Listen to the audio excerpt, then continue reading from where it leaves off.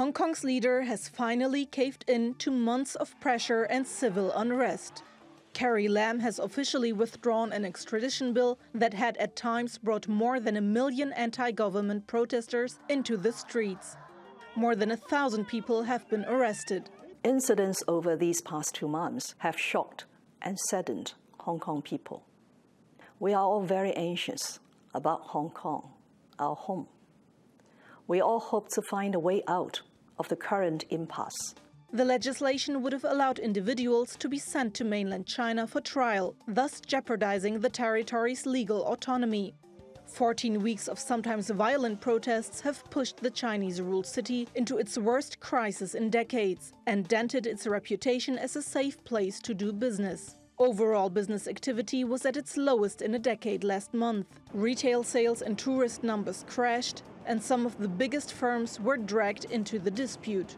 The Hang Seng stock index had already been hit by the China US trade war. And since the protests intensified in June, it's lost more than $500 billion in value. It traded up 4% after Lam's announcement. Real estate deals in the world's most expensive city for housing dropped more than a third in the second quarter.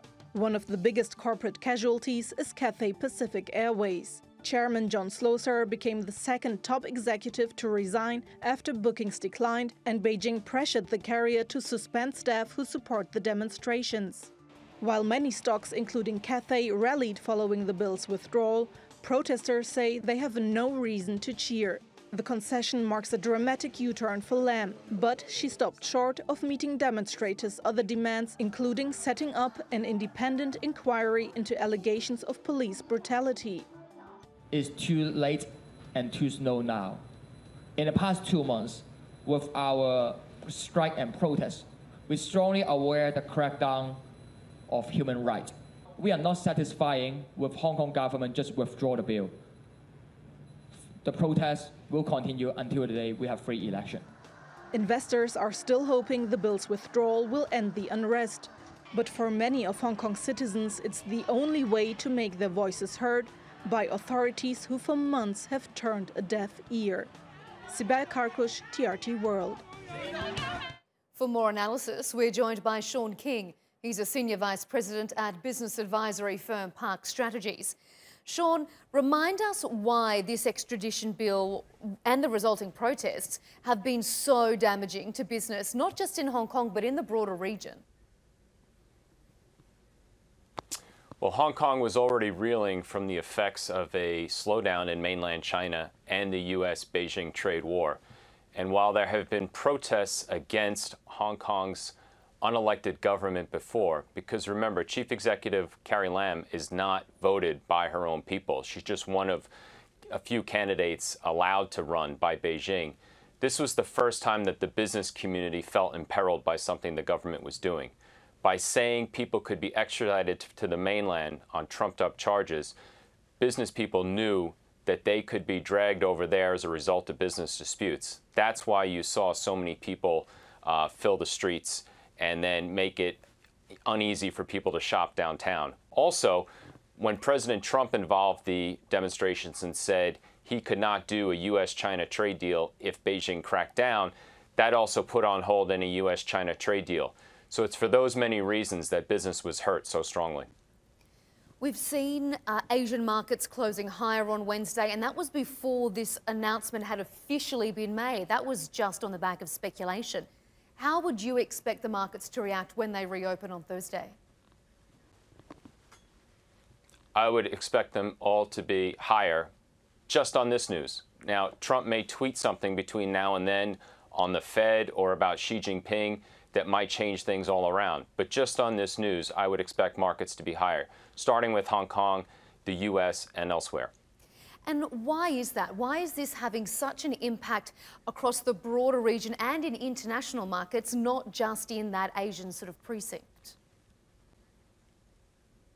Because this is not directly related to the U.S. China trade war. But since Trump made Hong Kong an issue, this now removes an impediment to a possible trade deal between Washington and Beijing if one were to exist.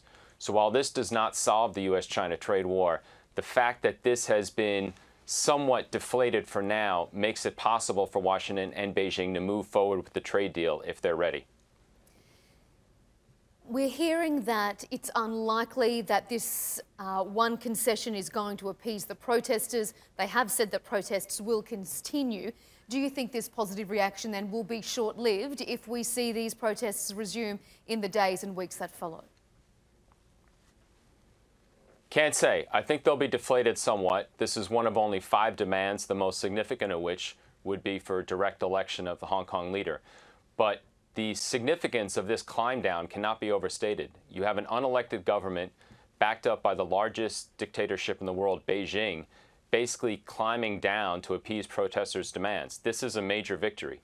Uh, I don't expect protesters to be satisfied. Just like in the U.S. primaries, any candidate's goal is to be his or her party's nominee. But that doesn't mean you don't celebrate individual states along the way that you happen to win. So I think protesters should take a victory lap and pat themselves on the back that they achieved this thing. What's different is, though, of the five demands, this is the only one that directly impacted the business community, which is what made the protest so compelling. So I suspect a lot of the sympathizers to the protesters within the business community might lose interest now that this is taken off the table. But as Joshua Wong said, who, funny enough, is in Taipei, they're going to continue. I just don't know if the business community will stay as engaged as they have to to date. And uh, just quickly, we've seen uh, it was uh, sectors in the market like uh, tourism, transport, and uh, property developers that rebounded strongly today. Uh, just explain to us briefly why those particular sectors are doing well on the back of this. I think anybody with big business in downtown Hong Kong, you know, the airport is a big part of Hong Kong's business. It's a big retail sector.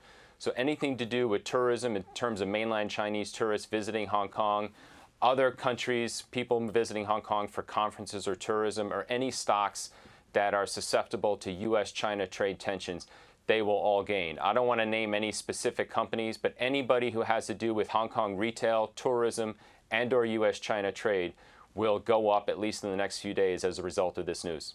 Sean, Sean King joining us from New York City. Thank you for your time.